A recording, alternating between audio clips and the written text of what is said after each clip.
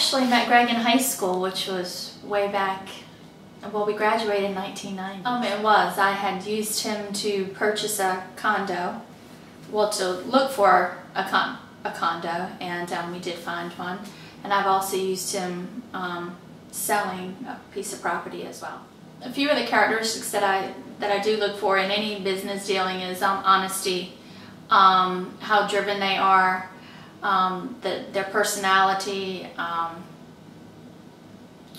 and most of all, I really, I guess I've known him in a long time, so um, I've heard a lot of good things about him. So the first time I did use him, um, I was, it was actually my first time back out on my own, so I really wanted to find a place not only that I liked, but somewhere I knew I wasn't going to be there forever, so I wanted his true, honest opinion. We looked at a few properties, and I asked him as you know, I, I needed an honest answer. Which one would he choose? I had it narrowed down to two, and I am so glad and thankful that we did choose that one property instead of the other.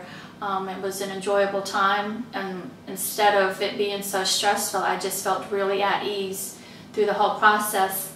And then when I decided to use him to sell my condo, I was actually planning a wedding.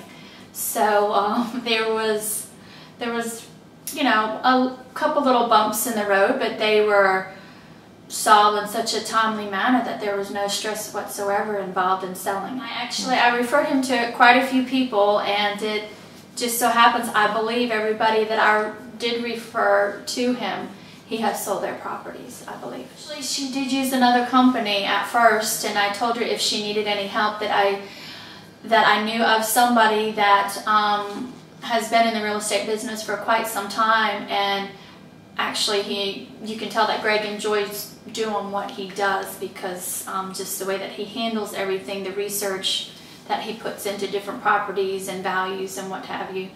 And she decided to give Greg a chance. And I do know it was on the market for a little while, but um, he did sell it. So some advice if they're looking for an agent, um, selling a home or buying a home at can be stressful at any point. But some of the questions I think that you would want to ask is, um, you know, are they from the area? Do they actually know the area from, you know, way up in North Myrtle Beach down to um, Murrells Inlet? Um, Greg's been here for, I believe he grew up here, I'm not sure, right around the same time I think I moved here. Um, it's his involvement in the community. He knows a lot of people, and um, I feel that he knows where the good areas are to live and he really knows a lot about the business.